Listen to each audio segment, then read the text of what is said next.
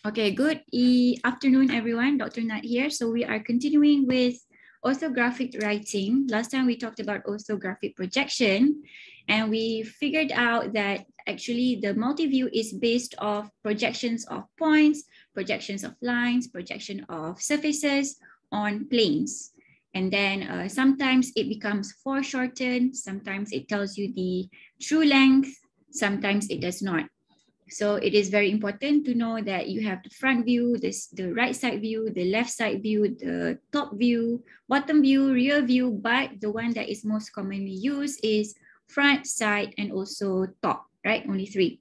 And when it is not necessary to have all three, you can also present your uh, multi-view in two views, which is front or side or front or top, um, whichever is important. Okay, so today we're gonna learn how to draw orthographic or how to write.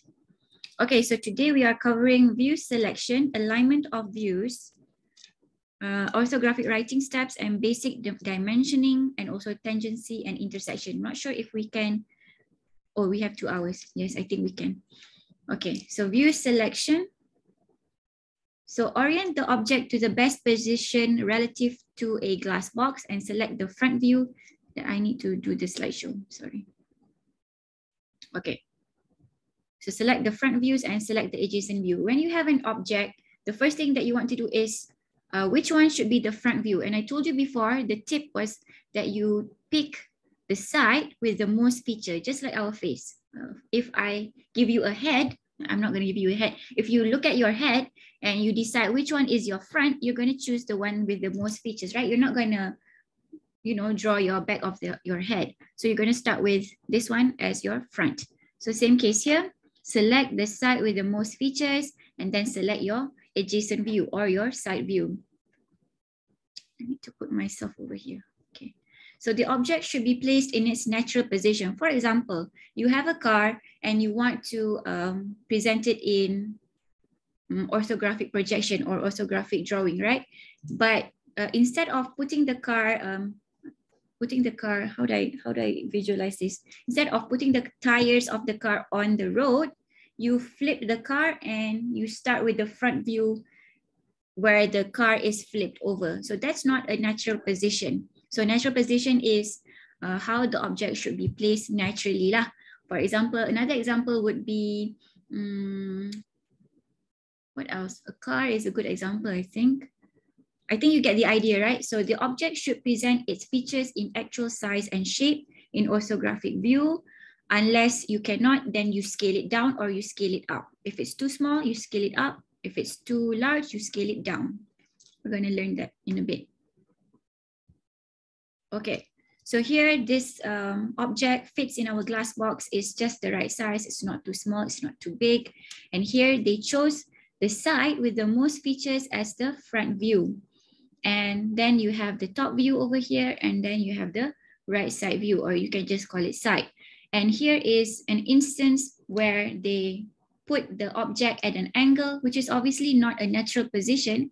And you can see that it is quite um, not very, this is not a good uh, drawing. Okay, when you look at it, you know, you already know it's not a good drawing because you don't know the true length.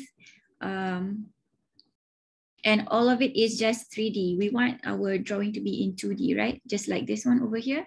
So this is not a good uh, orthographic drawing. It's wrong, in fact. So this is a good one and this is not a good one. Okay, moving on. So step two, select the front view. The object's longest dimension should be presented as the width. And I told you before, front view, banyak, uh, the one that with the most features. And the longest dimension, you should consider it as the width. The first choice, here you have a car. Here you have a second choice. Now, you when you look at a car, you don't know which one is the front side. Of course, the right, this side also has a lot of features. This side also has a lot of features, so you don't know which one to pick. Pick the one with the longest dimension. For example, I'm going to choose this one because it is the most, it is the longest one. And then if you try to draw the other views of this car, it would look like this. This is the side view and this would be the top view. And if I were to choose this one as the front, this will be my top view and this will be my side view. Of course, they give me the same views, but there is a difference. The, the first drawing wastes more space and the second drawing wastes less uh, space. So if you were to pick um, the front view, pick the one with the most features and if um, the, the object has a lot of features all around, pick the one with the widest dimension as your width. So here they use less, they waste less space. So this is a good choice. Of course, it's not, it does it doesn't mean that this is wrong, but it's just not the best. Okay, we always go for the best practice. Okay, so adjacent views or side views that are projected from the selected front view should appear in its natural position. Of course, this is wrong because this is not in its natural position. Inappropriate. Okay, so this one is an object that we can actually draw, I mean, for our level. So choose the view that has have the fewest number of hidden lines. Number three, tip number three. First one was pick the most features. Second one, pick the widest dimension as your width. Third tip was uh, choose a side with the fewest number of hidden lines. Okay, so if I were to draw the back of my head, there's a lot of hidden lines. So I don't want that. I want the one with the most visible lines. Okay, so let's look. So this is um, the viewer or the, that's you. So this is what they're seeing. This is the front view.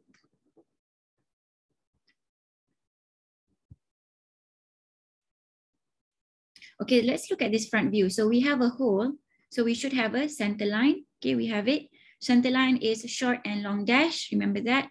And then we have a hole over here. It's not in the same plane as the first hole. It's in, in a different plane. So you can't really see the hole, but it is presented by the hidden line and a center line. You see the hidden line and also the center line. Obviously, it's a hole. Um, yeah, okay. And then you revolve the object you have another hidden line. The hidden line must be joined at the visible line. Unless it's an extension, do not join it. Leave a gap. So this is a good one. And this is an inappropriate view for to choose as a, your front view because it has more hidden lines. Well, the difference is just one, but this is the best practice, the good one. Okay, moving on. Step three, select an adjacent view. Choose the fewest number of hidden lines. Previously was also adjacent view. No, wait, was it? I think it was adjacent view as well. Oh, this was front view still. Okay. For adjacent view, it's telling you pick the one, pick the view with the fewest number of lines as well after you choose the front view. Okay, so that's your object here. You have a center line, a hole, hole representing this guy over here. And a hidden line, you know, it, this is also a, a hole with a center line. Okay, so compared from right side to left side view, they are telling us to choose right side view because this guy has less hidden lines compared to the left side view. So this will be our adjacent view for our multi-view. Okay, always go for uh, the most, the least hidden lines, always. Okay, moving on. So this is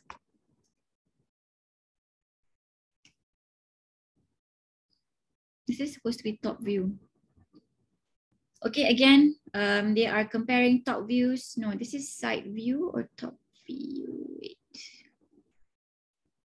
This is top view. So they're trying to determine which one should be the top view. Is it this side or down here?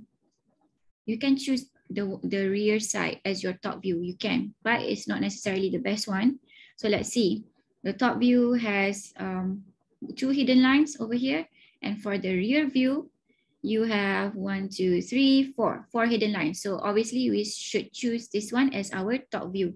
This um, title is wrong. It should be select the top view with the least hidden lines. Okay.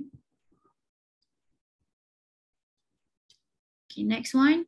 Select and choose the minimum number of views that can represent the major features of the object. As I told you before, it's not necessary to have all three. Sometimes you can present all the features in two. But in this case, I think we need three, do we?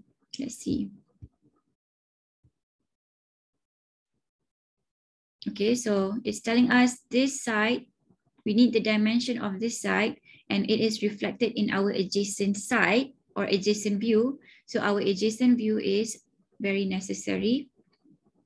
And the, the radius of this hole or the diameter of this hole is represented by the top view and it cannot be, I think it can be represented over here as well. Okay. The hole's location can be specified on the same view. So easy to understand. Um, I would say that the front view already gives us this information, but okay. Ah, okay. So this front view does not tell us um, the distance from this edge to the hole. So this is what we're missing. We know the diameter of the hole, but we don't know how far it goes. Okay, so the top view tells us that. So yes, it becomes necessary.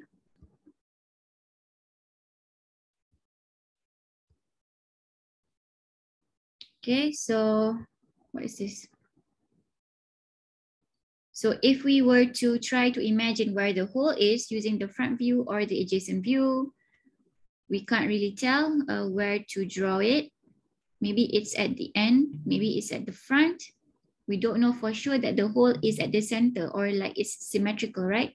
So but from the front view and the side view, I'm not able to tell whether the hole is symmetrical, like really at the center or like hujung ke, tak tahu. So we need this top view. So the top view is necessary. Okay, next object.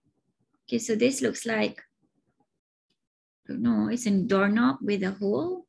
Let's just call it that. Okay, so this is what they've given us. Uh, this is the front view and this is the top view. Okay, so and it's telling us there is not enough space for dimensioning. Yes, we are wasting a lot of space. This is not ideal. This is a poor drawing, okay? So this is a good drawing. So instead of using, just now it was top view, but now they chose side view. Mm, they want us to choose side view because it wastes less space and also we have space for dimensioning. Well, that is true. But you can also scale it. So again, um, I'm telling you AutoCAD is very subjective as long as it makes sense and you can justify yourself why you choose a certain parameter or why you choose your drawing to be like this and this, it should be okay. Okay, so don't, I mean, it's not rigid. But the one that wastes less space is obviously the best choice. Okay, so this is good. So we have another object, it's a triangle block. This is our front view. So our front view looks like a rectangle. So if I were to present this view to you and I ask you, hey, can you draw me the uh, isometric, isometric drawing of this object? And I just give you this front view. What would you draw me? You would draw me a rectangle block, rectangular block, right? Which is wrong. So we need more views. Of course, this front view tells us the width and the height, but it doesn't tell us the dimension, uh, sorry, the depth. So we need more. So this top view gives us the depth. And, and is that enough? Are we able to specifically draw a rectangular block using these two views? Let's see. Are we able? I think not. So this will mislead us to drawing a rectangular block or a rectangular block with a fillet. This also works. Okay, so this is one plane. One plane, and from the top, this is what you see. Yeah. Okay, So you need your adjacent view or your side view to tell you that this is indeed a triangle block. So three views is uh, necessary for the size description and also the shape. If you only have the front view and the top view, it only tells you the size, but it doesn't tell you the shape, okay? It tells you the depth, it tells you the width, the height, but doesn't tell you the shape, and you still can draw wrongly. What's this? RSV, right side view. Yes. What does that mean? Okay, so another one, this is a flat type of object. If you have any questions, you can interrupt me. So this is a flat type of object. Uh, again, we typically for the front view, we'll choose the one with the most features, right? So let's see what they choose. So this is what they chosen, but it's not the front view. So we have this guy over here. The center line denotes our hole. Another center line another center line, which because we have an arc over here, it's almost like a hole. So we do need that center line. And we have a fillet, a fillet, a fillet. This is not a fillet, this is an arc tangent. Um, tangent, tangent arc. Forgot the, uh, the code for the AutoCAD. This is fillet, I think. Fillet, because we have two edges, fillet lah. And this is the these two views provide only information about the part thickness. Correct, you get the length, we do get the length and we do get the thickness. From this side, we don't get the length, we get the thickness and depth. This is unnecessary. Let's see what they conclude. So you, when you have something like this, this is almost redundant, right? Because when you present this front view, let's just call it front view for now. When you present this front view, you already know we have this depth over here. We'll call it depth. Then we know the length over here. So this guy and this guy is redundant because we already have the information over here. The only thing that we're missing is the thickness from this figure. Okay, so what you can do is, since this guy is, these two views are redundant, what you can do is, you just label it like this. This is a leader line. It's called a leader line. We're going to learn about this later. Leader line, and you put a note, one, uh, one millimeter thick. Or in this case, one thick. You, if your dimensioning in your AutoCAD is millimeter, then by right, you already know it's one millimeter. Okay, so this is also possible to do. You give me a front view, and you feel like the side view and the rear view is unnecessary, you can just label it like this. Okay, what about a cylindrical shape part? Okay, so here they are choosing this side as your front, front view, this side, left side view as your adjacent view, and the top part as your top part lah. Okay, so here we can see that we have redundant information here. Let's see what they see. See, so this is redundant, repeat. You're repeating the front view again. So this is unnecessary. So I can just present this object with two views. I have my diameter of the circle. I have my length and I have this side is going to be aligned with my diameter and I'm good to go. It's already I already know it's a cylindrical. I won't make a mistake. Okay, and again, circle has center line. This center line denotes that the circle is over here. Okay, and since we don't have another circle inside, it's not a hole. So it's a block.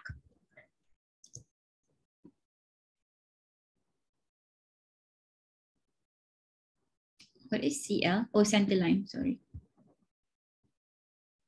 infer from center line. What? This is unnecessary, but I, I want to know it. okay, yes, it is unnecessary. But if, if we want to put it there, you can. But we already know that the diameter is this much. I already said it just now. The diameter is this much, and this is a block. Since there's no hole, then that side view was not necessary actually.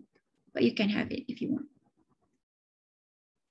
Okay, but when we have a hole, I would say that the side view is very important. Let's see. Wait. So they infer the hole here from the hidden line and the center line. So the center line extends from here to here, which means that the diameter of the hole extends to the back.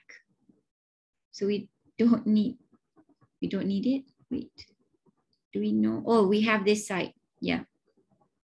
This is the visible line. This is representing this guy. Hidden line is the hole. I want the side. I like having the circle.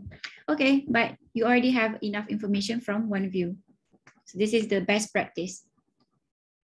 Okay, moving on. Uh, two view drawing. Two view drawing, there exists an identical view. Therefore, you can just use two views. Another example, why am I showing you a lot of objects and their orthographic projection? Because I want you to expose you to how you can draw later on because for your projects, you will need to know this and for your tests as well. Tests, okay? Okay, so there exists an identical view. Uh, let's see. Here you can see that, let me, this dash or like the plus sign tells you that it is a hole, but a very, very small hole, okay? Typically, we see the short and the long dash as our center line, but here we see it like a plus sign. And that's okay. If you have it in your AutoCAD like that, it's okay because the hole is very small and it becomes like that. And then we have the hidden line. Sorry, this is a center line because it's a short and long dash. This is a visible line. So what I'm inferring from this center line, no, this is not a center line. Why is it like this? Kejap. This is a hidden line. Hmm. Okay, visible, visible, betul. This one we already accounted for. What is it supposed to be? I'm not sure. I need to figure this out. Okay, so let's see the side view.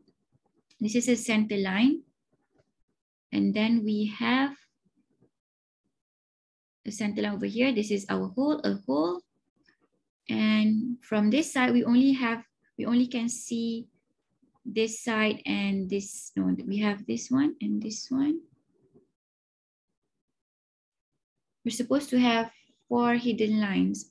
One, two, three, four. Okay, so we have four pairs. One pair over here, this side and this side is one hole. This side and this side is one hole and this one and this one is one hole. And then you can see that the center line for this guy, for this pair, right? This pair, the center line is one. This is here, and this is, is very confusing. The top part, okay, dah settle. This one and this one overlaps. Repeat. Okay, wait, wait, I'm not done yet center line, tengah, besar. Do we have another hole inside? This is our visible line. This is our hole.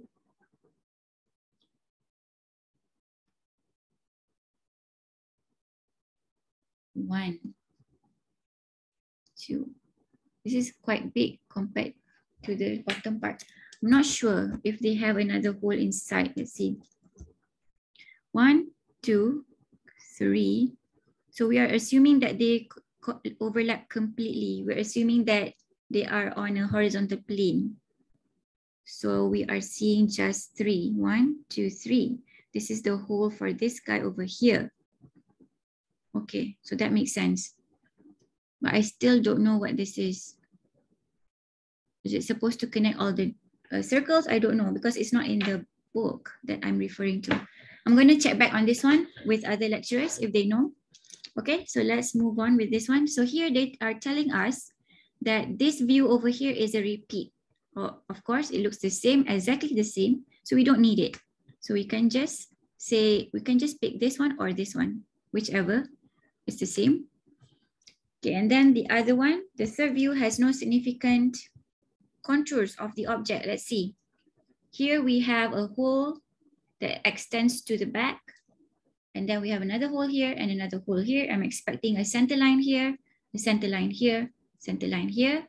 If I'm looking from this side, I'm expecting a visible line that looks like this. And from the top, I cannot exactly imagine the symmetrical part. So the front view is very, very much important. Let's see.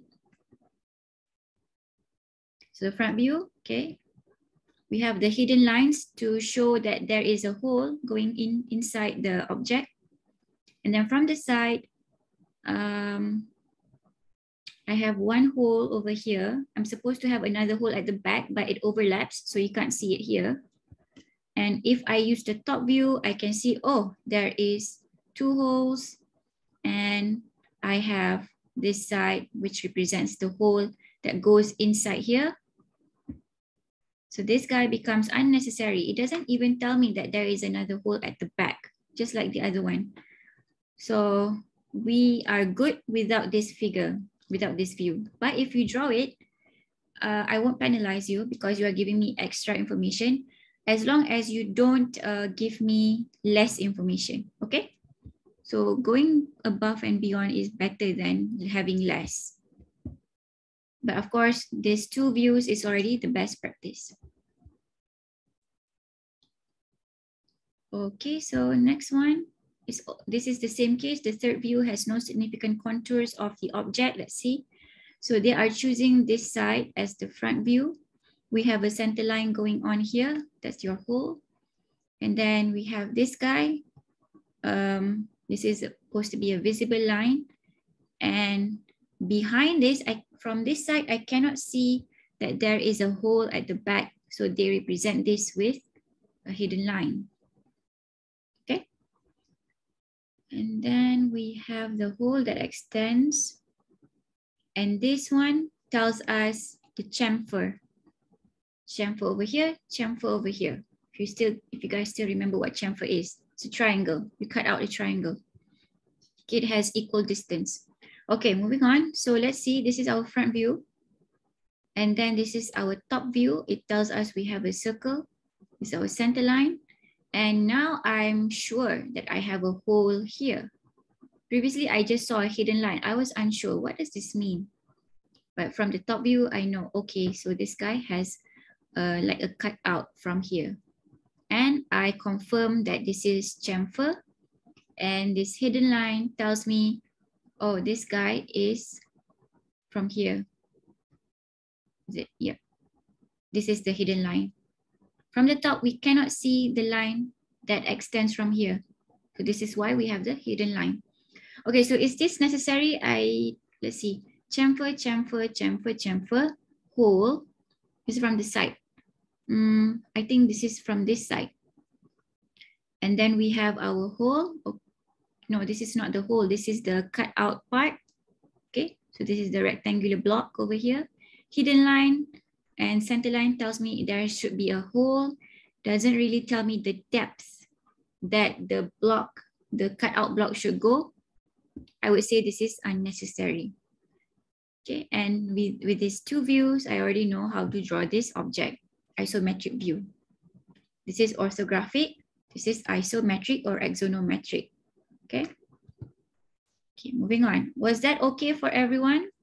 Was I going too fast? Everything clear, doctor. Yeah. All right, so moving on. Projection systems.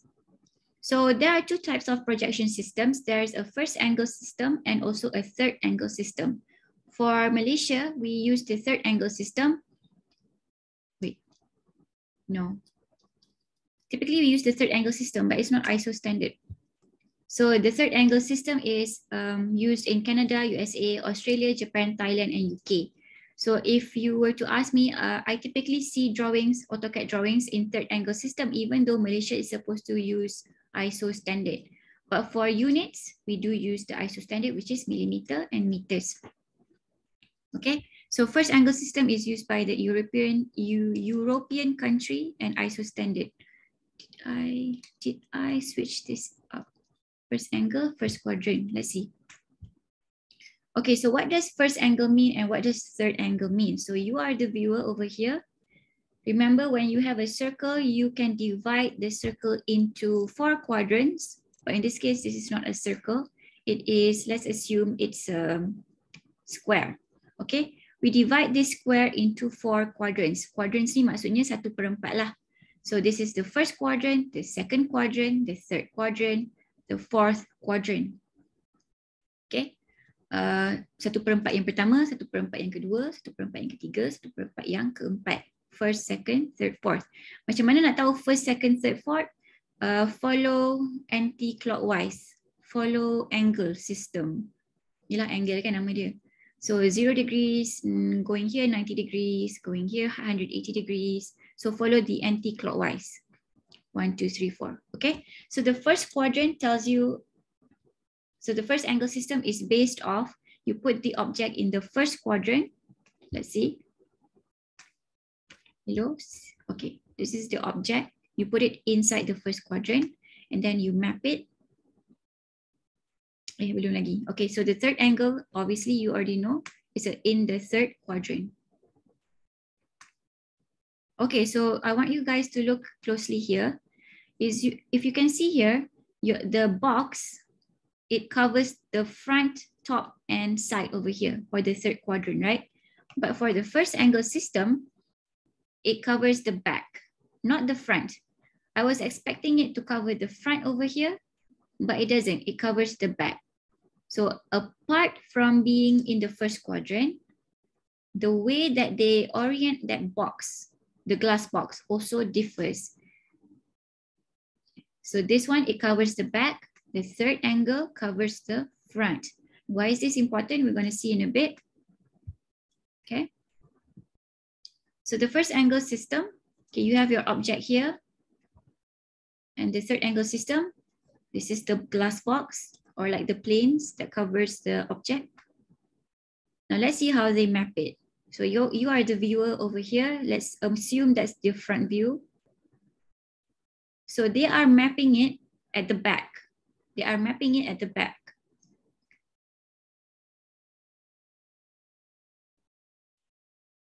Does it mean that they are using the back view uh, as the front view? No, they are still mapping the front, but they're putting it at the back. I don't know why.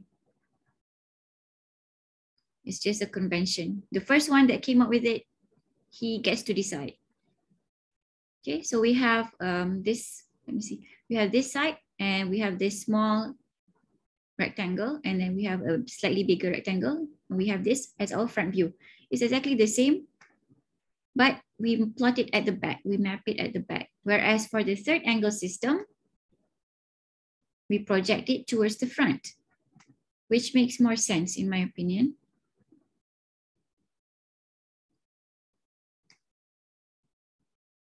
And I told you AutoCAD is very subjective.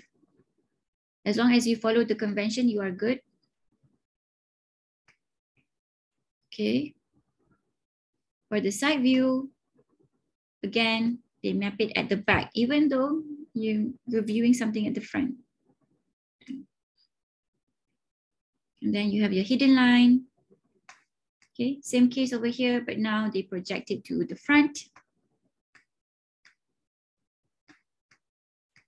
Okay, same case over here. I'm going to make this faster a bit because we already know by at this point how it looks like. Okay, so you want you're telling me, okay, this looks exactly the same. Why does it matter? Depan ke belakang ke sama je kan? But no, when we cut it out, there, the way that they cut it out is also different. So the way that they orient the views in the orthographic um, drawing is also different. So let's see. Okay, so this becomes, where's my pen? This becomes your front view, this becomes your top view, and this becomes your side view. Here, your top view is here. And this is your side view, and this is your top view. So in your drawing, typically your front view is at the at this side, right? And then you go for the top, go for the side. But it's the different, it's different for the first angle system. And then you put your isometric view of the object on this side uh, versus the third angle system puts it over here. Okay, so again, I prefer the third angle system, but it's not wrong if you use the first angle system. Okay, so again, we typically put our front view here. The examples that we have seen use the third angle system. And it makes more sense to have the top view at the top, right? And the side view, the right side. This is right side, but it's on the left, which I'm just gonna leave it at that. Okay, so again, we have first angle and third angle system. Um, the one, the examples that we have seen in class typically are the third angle system, okay? And for to complete your orthographic projection, sometimes they include the real object or the 3D object isometric view of the object together with the uh, views, okay? So view se sequence, this is your first angle, first angle view, third angle system. Okay, what's this? First angle projection, right view is on the left. Why is it so fast? Uh, kejap.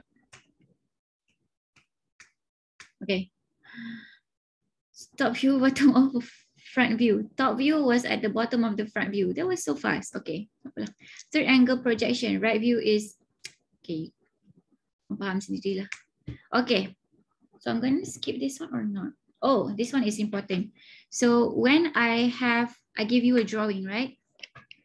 And I put a little symbol like this on the top, on the top right. Okay, I put symbol like this. It means that it is the third angle. Need symbol um, international, eh? you use this symbol to indicate this is a third angle system. You're using a third angle system. If you give me this symbol instead, it means that uh, it is the first angle projection or first angle system. Okay. So nanti kita akan tengok uh, kat mana dia lukis benda tu. Kecil je. So the first angle system, again, it maps to the back. Let's see. Oh, ni dia, dia cerita macam mana kita dapat that symbol. So dia datang dengan objek ni. Tak tahu kenapa dia pilih objek ni. Tapi tak apa. So this is our object. It maps it to the planes. See, this is the side and this is the front view. Actually, it's the back view. And then they open the plane. This is what they have. This is the first angle system. And then for the third angle system,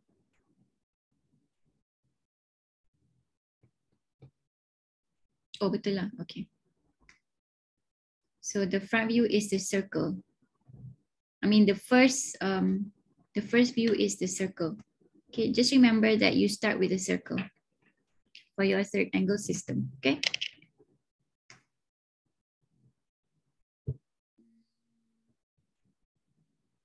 Not important. Uh, this is just scaling. So, oh, I think this is, okay, so if you want to, let's say for your mini project later, you want to draw this symbol in your AutoCAD drawing, right? Because you want to indicate to me whether it's a third angle system or a first angle system. If you want to draw it uh, really, really small, for example, you want to have the diameter of this guy of the circle as one millimeter, then this side should extend by 2.2 millimeter. This side should be 1.7 millimeter. If you want to make it bigger, let's say two millimeter for the diameter, then this becomes 2.2 times two millimeter and this becomes 1.7 times 2.2 millimeter. So please use the scale if you're gonna use, um, if you're gonna scale it up or scale it down, okay? So just use the convention. This lecture is going to be available to you, I mean the slides, so you can just refer to it. You don't have to memorize. Okay, so orthographic drawing steps. Let's take a five minute break why not? Five minute break is 2.47. If you have any questions, you can ask me. If not, let's take our break. Draw 247, come back. And I forgot, please record your attendance on PutraBLAST if you have not.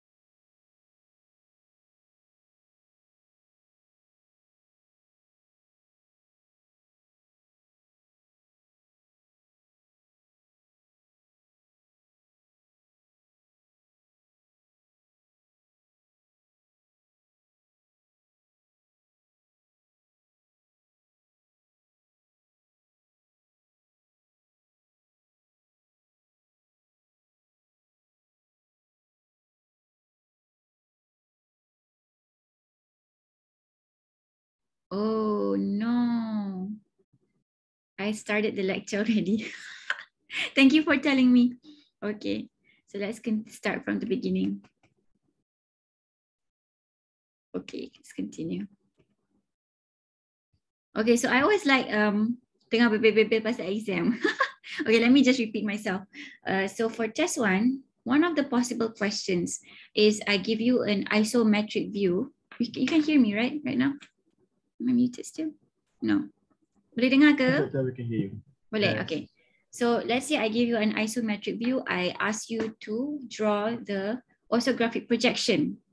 Okay, that's one potential question. Or I can give you a isometric view and I give you like, sorry, I give you an isometric view and also I give you the top and the side view and I ask you complete the missing front view. That's also an, a, a possible question. Or sometimes I can also give you the three multi-views, the three views, the front, top, and side. I ask you to draw the isometric with the dimensions. Okay, so those are the things that we we are trying to understand here. And of course we have i have to test you guys on that as well. Because the your understanding of that translates to your AutoCAD drawing as well later on. Okay? So i have three chats over here i thought you just review notes same oh okay so sorry about that tengah shock sendiri tadi kalau petang kan mengantuk sebenarnya okay tak apa tak apa Okay, let's continue. Uh, so select the next. Yes. How is the exam going to be conducted? Like, what do we need? We need okay, like so the, for the triangle. Exam, you don't need triangles. You don't need the triangles. You can bring your ruler. Um, I think having a ruler would be safe uh, to draw your projections later. Mm, and pencil if you want to not if you want to rub it off. If you use a pen, then you have to start all over again, right? So pencil, ruler, uh, everything is on paper. There's no AutoCAD yet. Um, but don't be disheartened because your AutoCAD mini mini project and also your group project has a lot of carry marks, but that is not going to be on the test. Okay, so um, the concept that I will test you is about the lines, what type of lines should we use, um, how the multi-views, how to draw axonometric drawing. Um, what else have we covered in the lecture? What is the first and third angle system? Things like that. Okay, everything in the lecture is fair game. Um, unless I tell you that you shouldn't focus on this topic. Okay? Is that okay? Does that answer the question? Hey, doctor, thank you. Okay. So um, kenapa tak test AutoCAD in the test one? Because um, in the syllabus, I have to test you on theory as well. And I can't test you on theory if uh, we're, I'm evaluating your AutoCAD uh, drawing later on. it's, so I have to do the test um, like that, okay? So I don't want to do it like that, but I have to because it's part of the syllabus, okay? And of course, if I don't test you like that, you won't read it, right? So we have to. Okay, so how to start drawing your orthographic projection? First, select the necessary views. Do you want your front? Do you want your top? Do you want your side? Do we need right and left or do we just need right? So let's see. So first I have this object. I'm going to pick the front view and the top view. I can put the side view, but I feel like the side view does not tell me uh, where the hole is situated. Of course, I'm going to see the hidden lines, right? I'm going to see the hidden lines and I'm going to see a center line. But I won't know that this guy is not actually a circle. I won't know it's a circle. Um, but from the top, I know, oh, this is um, an elongated oblong. Let's just call it oblong. And I can tell, oh, this guy is not actually a circle, but it has some sort of like a rectangular cut off, right? So if I look at it from the side, I won't be able to tell all, of, all those information. So the top view is necessary and also the front view because it tells me the height of the this guy over here. Okay, so let's see. Next is to lay out the views. So in here we have the dimensions and obviously if I if you were to draw this in your paper, 152 millimeter would not fit in your paper. Would it fit? I don't think so. So it's, let's say it's not gonna, gonna fit in your paper or your answer scheme punya tempat tu. So what you want to do is scale it down, scale it down, okay? Choose an appropriate scale. So you can choose one to one or, so if you were to choose one to one, then you would have to draw it um, according to scale kan. Typically we scale down lah.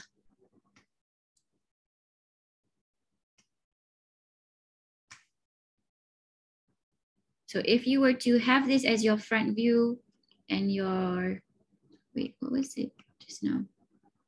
So this is the front view dimension, 152 and 45. It's just giving you a block because they just want to estimate the place to draw.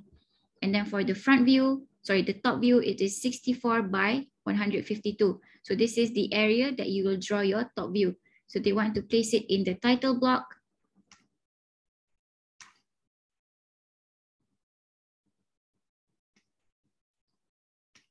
Eh, it fits. So actually it fits. I don't know. What's the size of our paper? I forgot already. Okay, so it fits. So you don't have to scale it down. Okay, so project the views. Just now we chose how to lay it out, right? First, we selected the views. Second, uh, look at the dimension. Would it fit in your A4 paper with the title block? And then you now you map it out. You map out the lines, you map out the points,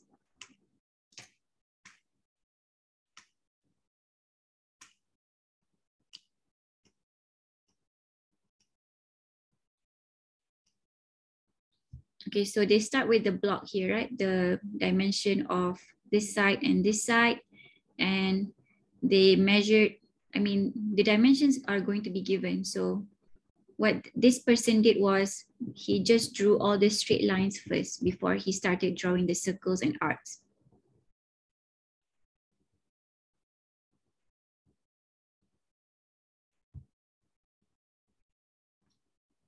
Do you need your uh, compass? Uh, you can just sketch it. It's fine for your exam. As long as you show me it's a circle. Don't, don't give me an eclipse or something. Ellipse, sorry. Eclipse is the moon. Um, okay. And then you have to extend the line because you want the you want the views to be the same length, right? So they are extending the lines.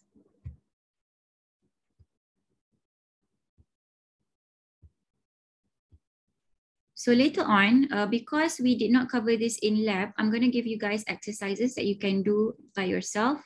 And of course, I'm going to give you the solutions as well. So you can practice this one. So this is why I wanted to finish up the lecture this week so that we can do the exercises next week.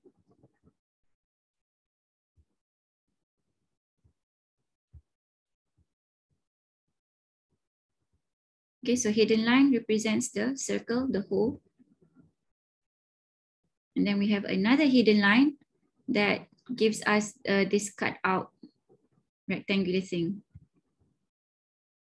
And as you can see over here, we have this um, rectangular block extending a bit. Does anyone know why? Why is it not one surface? Why is it not one surface? Should it be a one surface or should it be an edge? Remember, a visible line tells us that it is between two faces, right? Is this two faces or just one face? Dun, dun, dun. So you have to figure that out, okay? You have to figure out if um, the surface is one face or it's divided into two faces and if you need a visible line or not, okay? So that is the tricky part. And then from the front view, you need to have your hidden, hidden uh, lines to indicate this guy over here, okay? I'm gonna go a little bit faster because it's the evening and I know you guys are dozing off. Okay, so you can put in your part name if necessary. If they don't give it to you, you don't have to put in anything. If you have any notes, put it here. Dimensions is in millimeters. And again, if you there is a thickness, you can use the leader line and indicate it's one millimeter in thickness or etc. Okay, and then this is where you put in your name, all the details that we discussed in, in the lab. Okay, And then you put in your dimension. Dimensioning, kita tak cover lagi. Kejap lagi cover. Okay, so you, as you can see here, you extend the line from here to here and the arrow goes inside. But when the when the dimension is so small, your arrow can be outside. Your arrow can be outside. And you put in the value next to the arrow like this. This is for the y. Okay, the arrow is outside, but it's actually indicating the dimension of this guy over here. If your line is big enough, you can fit in your arrow, then just put in your dimension on top of the arrow. What else? This one is okay, okay. Uh, this is another instance. This one is telling you the radius or you can use the radius or diameter so Z is the radius of the arc is blah, blah, blah. Okay. And this one tells you the dimension of here to here. Okay, I think uh, dimensioning is fairly straightforward. The one that you have to take note is that when it is too small, your arrow can be outside. So if I give you a drawing like this, and I ask you, um, what does, what is the size of the, the you have to remember that even though the arrow is outside, it doesn't mean that the dimension is outside. It is inside here. Okay, I think that's the that's the hardest part of dimensioning, I think. Okay. And then transferring the depth of dimension. So direct measurement.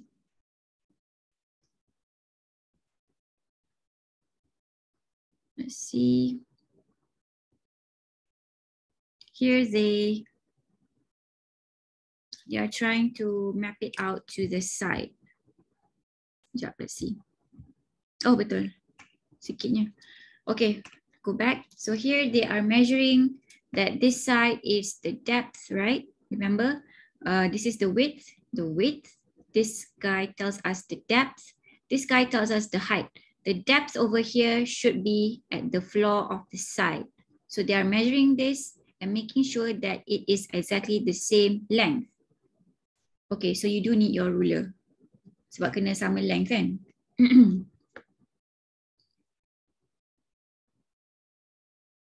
so 27. Then you draw it like normal. Okay, so here is another approach to draw the different views. Lah. To draw the different views using a meter line. So this is a new term, meter line, eh? meter line. Let's see what that is. So now you extend, first you extend from your front view, you're extending the line. You have your top view as well.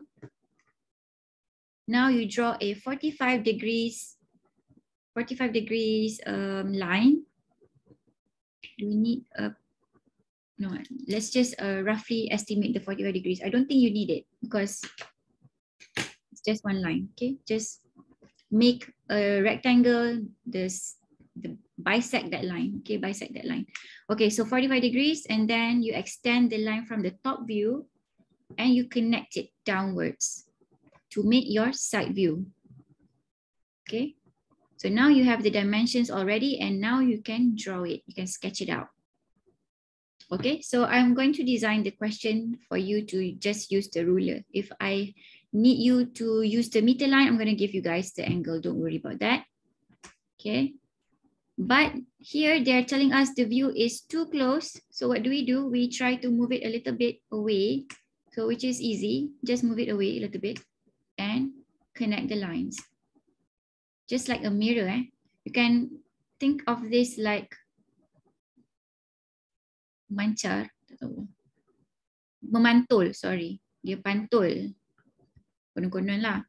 Okay. You have a mirror over here. Uh, this is the light. Dipancarkan, dipantulkan light to the other side. Okay. So this is using a meter line. It helps you to draw precisely for the side view, given that you have the front and the top. Okay. So what is a possible question from this? I give you this. I give you a front view and a top view. I ask you, uh, using the meter line, draw the side view. That's a possible question. Okay, basic dimensioning. Now we're going into dimensioning. So we have the first one, extension line, dimension line, leader line. I already uh, introduced you a little bit on leader line, dimension numbers, and also local notes. Local notes, we also um, saw one just now. Dimension is in millimeters. That was a note as well. Thickness is one millimeter. That was also a note. Okay, so what is extension line? It's basically uh, just extending from your drawing. It doesn't have to extend from a visible line. It can also extend from a center line. Sebenarnya boleh boleh asalkan it helps you to draw the other views. Okay. And then your dimension line goes inside the extension line unless your extension line gap is too small, like I mentioned to you before. Again, dimension line goes inside the extension lines unless the gap between the extension line is too small. Okay. Then we have the leader line. Leader line tells us notes. For example, this leader line tells us the diameter or the radius of this circle. So you use a leader line, do not use dimension line. So you can put the diameter symbol and indicate 25. So I know, oh, this circle is 25 in diameter. Done.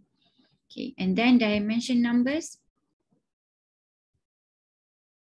Put it on top of your um, dimension lines. And then local notes,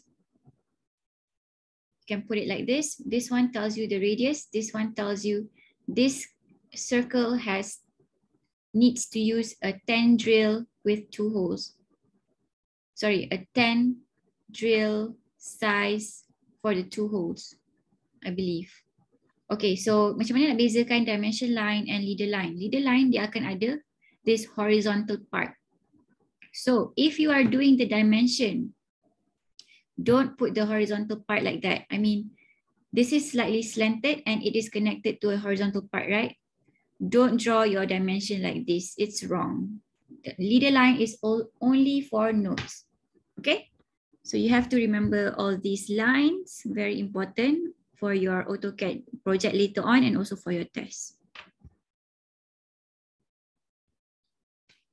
Okay. So let's take a five minute break because I'm tired. Okay, five minute break. What time would that be? 308 will be 3013. If you have any questions, you can ask me.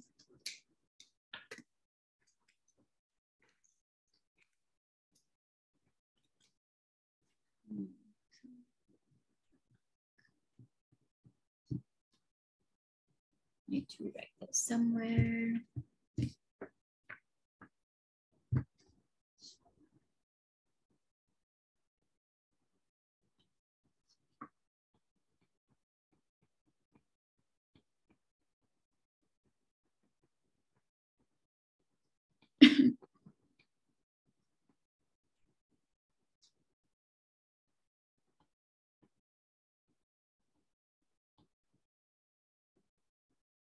Oh, let's watch a video.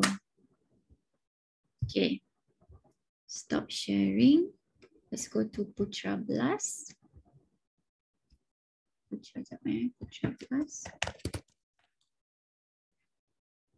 Sebab kelas saya banyak siang. I mean pagi. I really don't like evening classes. Uh, 30, sorry, 3201. Let's watch this video share the screen.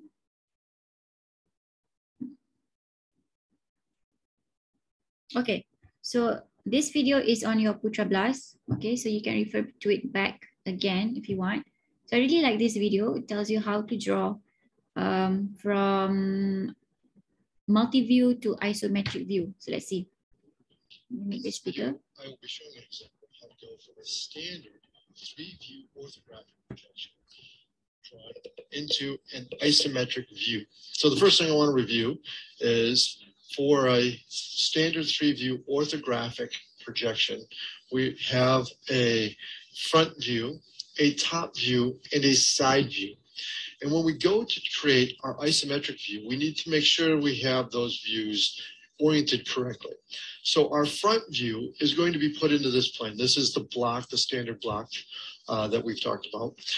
Here, the front view is going to go in this section. So we're going to be viewing the front view would be as if we're viewing it this way.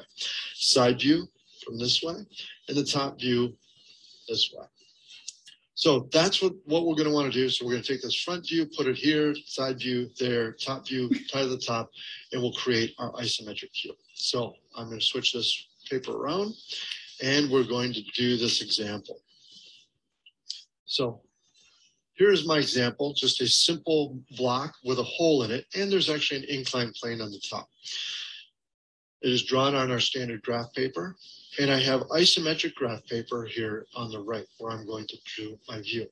So remember, the first thing is, is I'm going to take a look at it from this way and create our front view. Our front view is going to be based off of here. Looking at this drawing, we can see this, since this top on this on the top and on the side view, the front is planar. So this whole front face here is a planar surface. So I'm going to start drawing that from a point. So I'm going to pick this point right down here, down uh, at the bottom left corner, and just put that on my isometric graph paper. Now I can start working my way around here. So I have a vertical line that's going up. So that's going to be one, two, three, four, five, six, scale one to one. So I'm going to go six units up. One, two, three, four, five, six. From this point, I'm going to draw horizontally. There is a horizontal line here. So I'm going to go one, two, three, four, five, six, seven, eight, nine units down or to the right. So that's going to be one, two, three, four, five, six, seven, eight, nine units there. Now, if I go around here, uh, I can go up, that's three, and that's vertically up. So I'm going to go right on the isometric graph paper lines, right to there. Now I need to draw this slanted line. That slanted line, how do I draw that in there? Because it doesn't line up with uh, my vertical, my vertical lines or my horizontal lines on my isometric graph paper? Well, the way that we do uh, these types of lines is that we need to know this endpoint and we need to know this endpoint. Well, this point right here corresponds to this point right there. And this point on the right side corresponds to this point right here. Well, if I take a look at this, there's a straight line in our orthographic front view. So it's going to be a straight line in our isometric view. So what I'm going to do is I'm going to grab a straight edge. In this case, I have a simple ruler, and I'm going to draw a straight line between those two points. And there we have that front view. We're still missing the circle. I'll put that in a little bit. We're going to go and get the rest of the object completed. So what do we need to do now? We need to incorporate the side view and the top view in here. So if we take a look at this, we take a look at the object and we see that it has a depth of two, depth of two. So from this point here, which is directly under the front point, we have a depth of two. So I'm going to go and draw a depth of two units.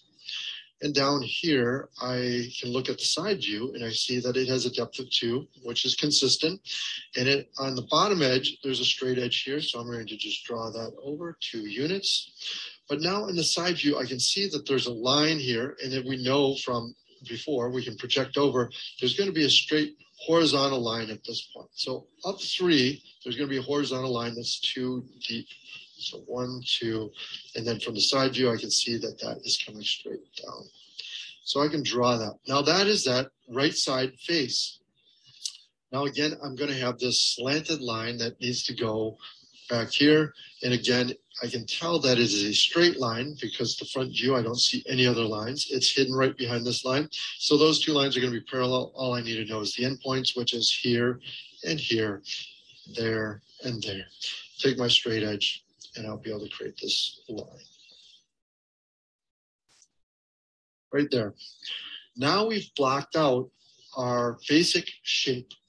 So the only thing that we're missing is this circle here. And this circle, we can see that it exists in the top view. We have hidden lines there. We have a center line indicating that this is a, a circular or cylindrical object um, a cylindrical object because we only have one center line.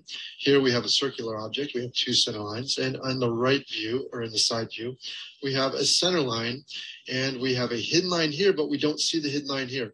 Remember, this is a solid line because of the order of precedence of our lines. the visible line is always takes higher order or higher precedence than a hidden line.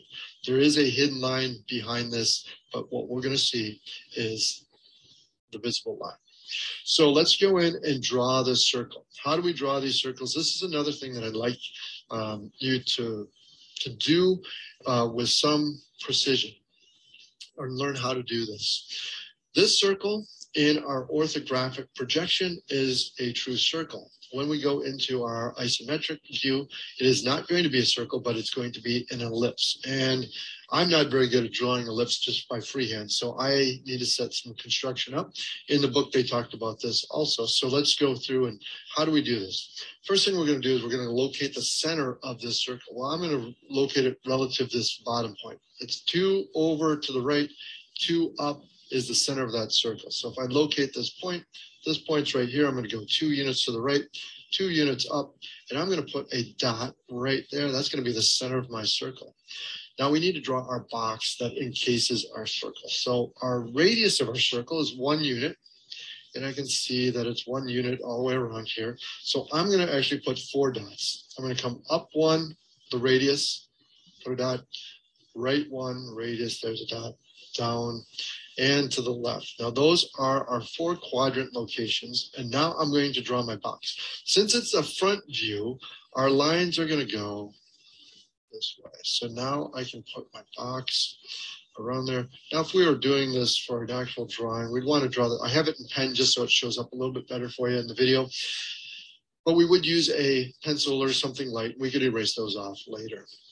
So now we have our bounding box of where our circle is going to fit into.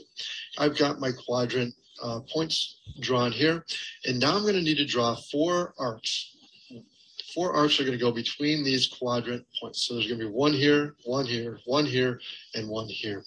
Now, the way I like to start is on these two corner angles, these opposite ones that are acute or less than 90 degrees. Those are going to be tight, tight arcs. Now, these arcs are going to be tangent from this, this quadrant point. It's, that arc is going to be tangent to this line.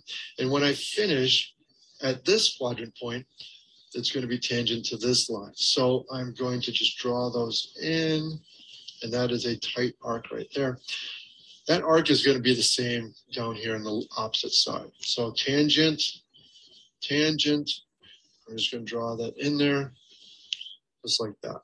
Now I have two more arcs. These ones are going to be on the obtuse or the greater than 90 degree angles. And again, it's going to be tangent on this quadrant point, tangent down here.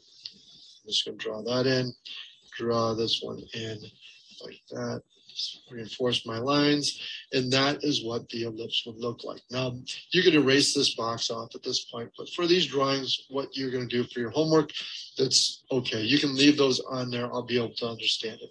I, I want you to be able to go through this process and be able to draw those uh, on there.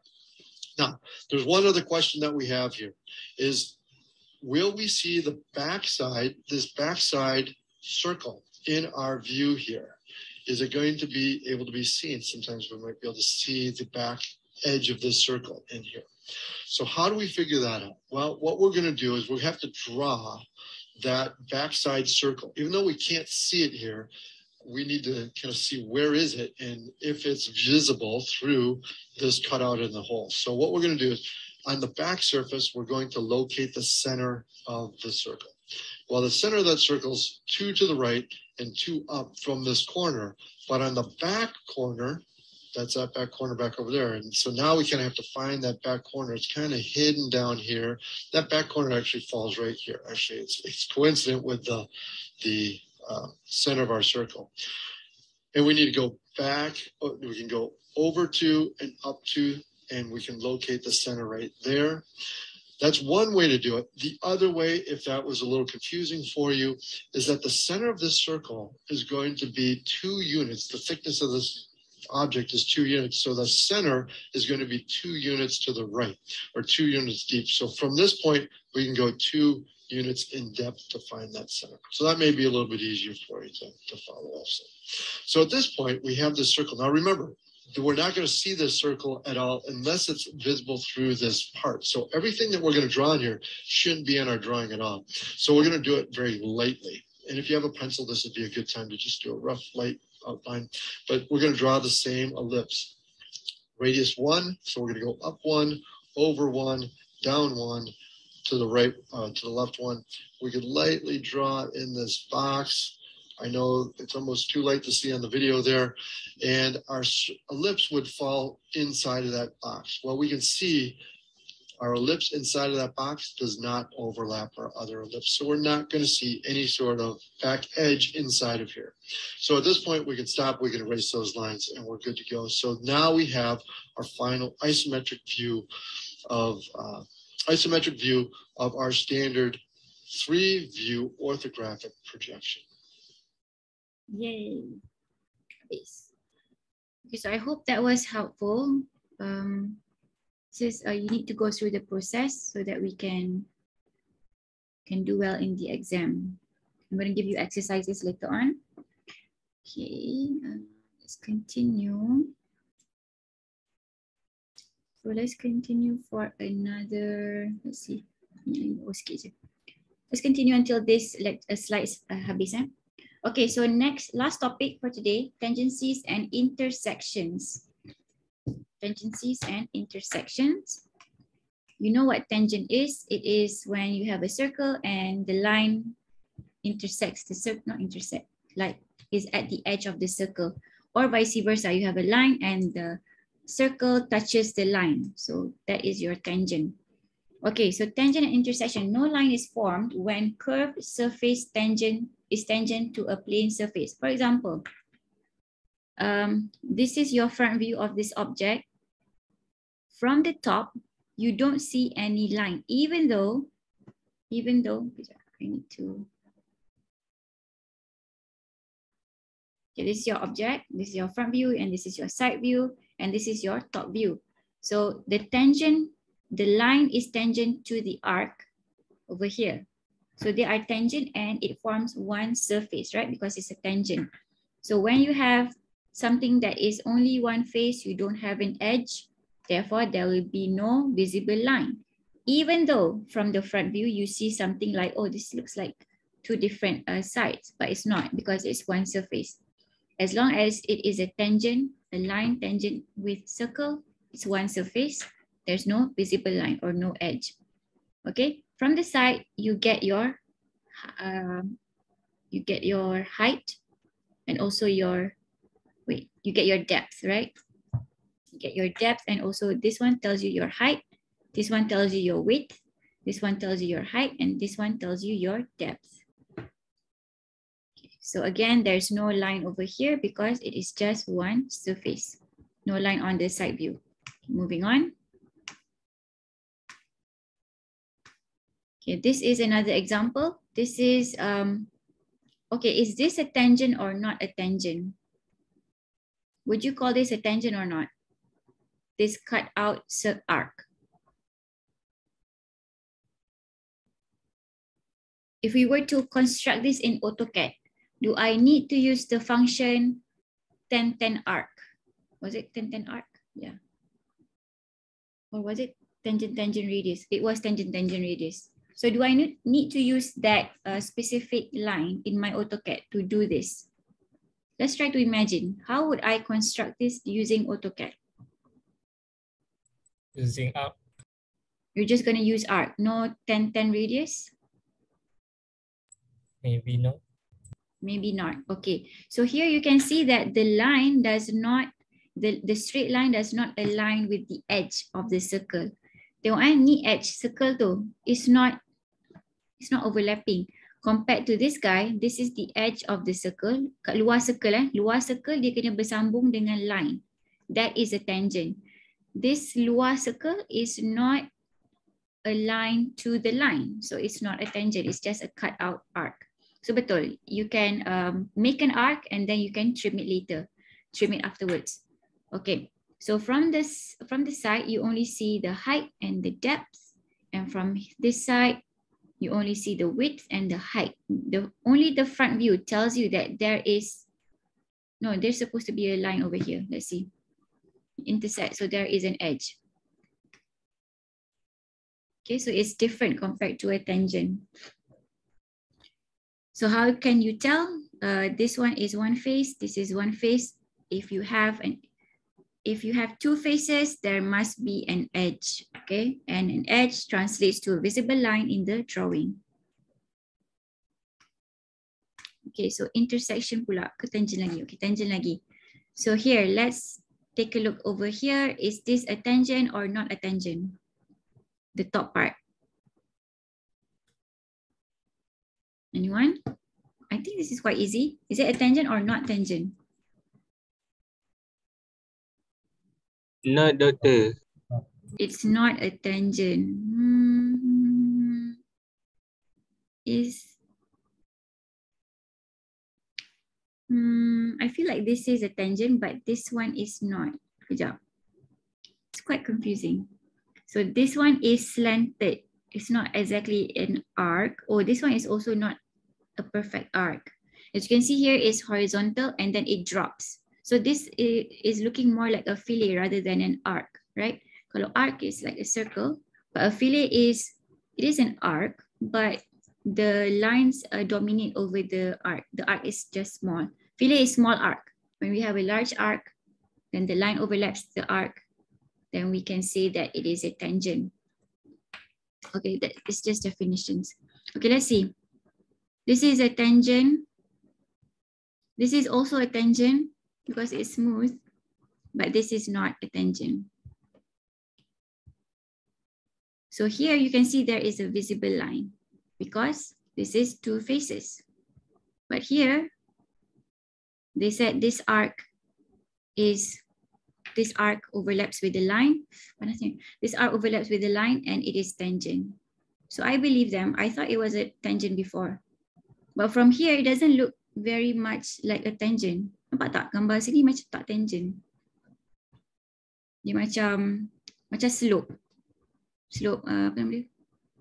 Tebing. No. Slope lah. Okay, it looks like a slope rather than an arc over here. But from here, it looks like this is an arc and this is a line. Okay. So from the top, when you have a tangent, it doesn't uh, translate as an edge. Therefore, it's just one face or one surface. Okay, in comparison to this guy over here, this is quite obvious that this is not a tangent. Let's see. So you have that intersect, you have that edge over there, and you have a plane. Oops, again. So what is the difference between this guy and this guy? Here you don't have a straight plane. That's the difference. Here you have a vertical plane, which translates as your visible line because it has to map out somewhere. But for this guy, it's slanted, so you can't really map it upwards, right? Nak map macam mana? Ada angle. But this one is vertical, so you actually can extend the line. Therefore, if you can extend it, then it can either be a hidden line or a visible line. And you can't really translate this fillet unless you show the front view. Okay, and then this one is fairly straightforward. This side over here also is not reflected on the side view. Okay, so you do really need this front view. Okay, so what can we conclude from this slide? This side over here, you don't have, you can't extend a line. So from here, we can say that this is a smooth surface. It's just one surface. And this is a tangent. Versus this guy over here, you can actually extend the line. It is a straight plane or vertical plane. Therefore, um, if you look at it from the top, you can see that it cuts downwards, right? Versus when you see from the top, this one is just smooth. You can't really see a clear cut where it ends. So there's no edge over here. There's no visible line. Okay. So here there's about limiting element. Eh? Limiting element means what you see. From the top is what you see. Even though you can't see the fillet, but you can see the drop here. So you have to represent it in your top view. Okay, I think this is the last slide, hopefully. Yes. Okay, so we have this object. Uh, it's a cylindrical block connected to a rectangular block and it is cut over here. Okay, so the center line represents that this is a circle. We know this. What else? So here, remember I asked you, why is this not a smooth line? Because, sorry, why is this um, represented with an edge and not a smooth surface or a single face? Because it's not a tangent. Again, you have to align the outer edge of your circle with the line to have a tangent. This is not a tangent. Tengok sini, tak, bukan tangent eh. Kalau ada tangent, macam ni. Mak banyak gila. Kalau tangent macam ni. This is a tangent. This is a tangent. This is a tangent. When it is like this, it's not a tangent lah. Okay. Ada drop. You don't have, you cannot have that drop you you draw your line, there's a drop. No, you cannot have that. If you have your line, you want it to be tangent, there should not be any drop. It should be straight line. Sampai kita sampai ke arc ni. Okay. Continue. Okay, last one, eh? focus. So this is our front view over here. We have to represent the visible line here because obviously it's not, there's a boundary here, right? So we have to present that with a visible line. And then we have our center line, which tells us that this is a circle or a cylinder. And then we have our line over here, as I mentioned before. And they are using meter line to draw the side view. Okay, first you extend the lines from the top view this is 45 degrees. You can extend it over here. You can make it closer, but better uh, away a bit from the top view. And then from here, you ex also extend the lines and you connect them. Okay, let's see.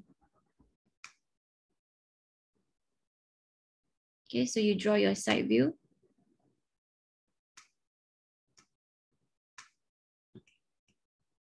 Okay, so the extension lines tells you, gives you like a guide, okay? But eventually you have to draw it yourself. Okay, the center line from this side tells you it's a cylinder. Okay, so different from the first object, now our line is actually tangent, actually tangent to the circle because there is no drop. I'm just going to call it drop straight line and terus masuk circle. Yang ni dia ada drop dulu. Tak tahu macam mana nak cerita tu. Tapi I think you guys understand. Okay, so you you don't have that line as you had previously before because this one is two faces, but when it is tangent, it is a single surface. Even though you have this top part, but this side is a single surface, smooth. So no line and use your miter line to draw the side view. Make your extension line as your guide and draw your side view. Okay, so from this side, we can see that the rectangular part is sampai hujung circle. So what you see is just two rectangular things. Okay. And last example, I hope this one. This one is not rectangular, it's slightly slanted. So a little bit challenging here. So the top view is like this, okay? This is still a tangent. There's no drop, it's smooth. Okay, you can draw the line and it connects the arc immediately. So again, there's no line. Okay, miter line, make the side view. Same case over here. But now we have two, we have two edges that we have to account for. One is the smaller edge, sorry, the smaller side over here. And then we have to put the lines at the side over here as well. Okay.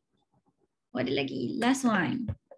So this is not a symmetrical object. It's, as you can see over here, it's it's it's straight over here, but it's slanted here. Okay, so how do we represent it? Okay, still a smooth line because it's a tangent. From here, from here to here is a tangent. From here to here, it's also a tangent. Okay. No lines, yes. miter line. Make your guidelines or your extension line to guide you to draw. And you extend it. And here, your small part here is over here. How did you know it was here? You have to have your extension line as your guide. Habis. Habis, yay. Okay, so I think that's it for today. I thought I wanted to cover two lecture, but even myself, I cannot cope. okay, so let's continue next class.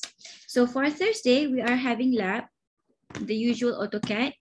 So please come to lab on Thursday, okay? I'll see you guys on tomorrow, stats class. Bye guys. Have a great rest of the day. Take care. Bye-bye. Bye, doctor. Thank you. Thank you, doctor. Thank you, doctor. Thank you, Dr. Nico. Thank, thank you, Doctor. Welcome.